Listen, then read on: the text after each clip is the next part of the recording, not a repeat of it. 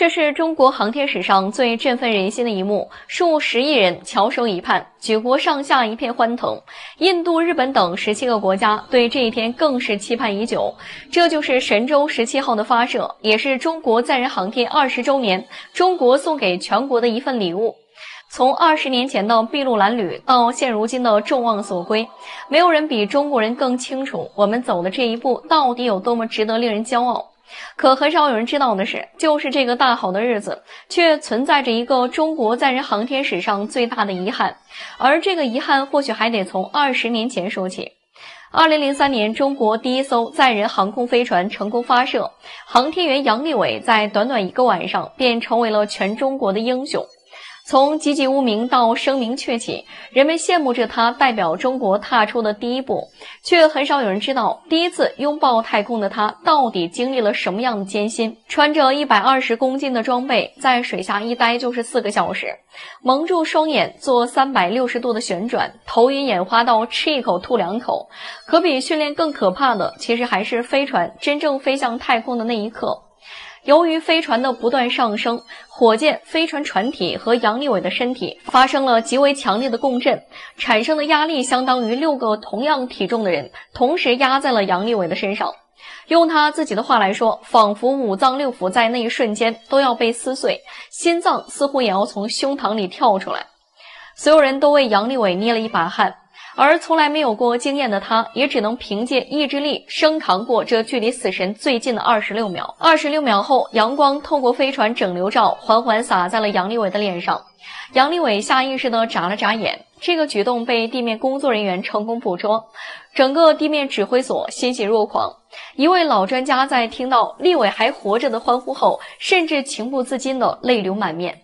或许当时的人并不知道的是，同样是提心吊胆，在杨利伟返程之旅再一次惊险上演。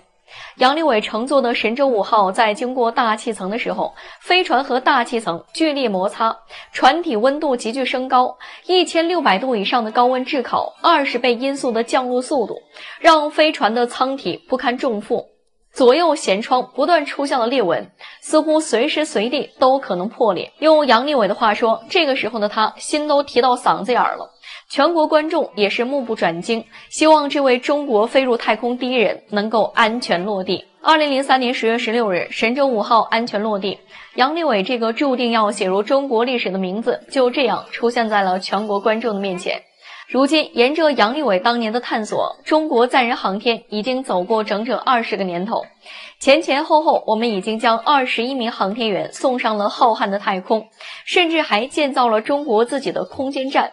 可几乎所有中国人都不能忘记，二十年前，一个年轻人冒着生命危险，代表中国人拥抱太空的第一步。以至于在中国载人航天二十周年之际，很多人都希望杨利伟在身体允许的条件下能重新飞回太空，亲眼看看中国自己的空间站。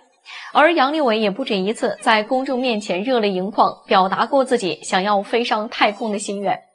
遗憾的是，这次意义非凡的神舟十七号依然是一些代表了未来的年轻人，而并非是开启了中国载人航天最初梦想的杨利伟。中国的航空第一人错过了这个重要的纪念日，难免会让人多多少少都有一些遗憾。可幸运的是，根据媒体的报道，在神舟十七号的发射现场，杨利伟将作为神秘客人出席，来纪念这个难以忘怀的时刻。或许这位中国航天第一人的出席，能为中国航天二十周年的遗憾画上一个句号。最后，向这些勇敢的航天员们致敬。我们明天再见。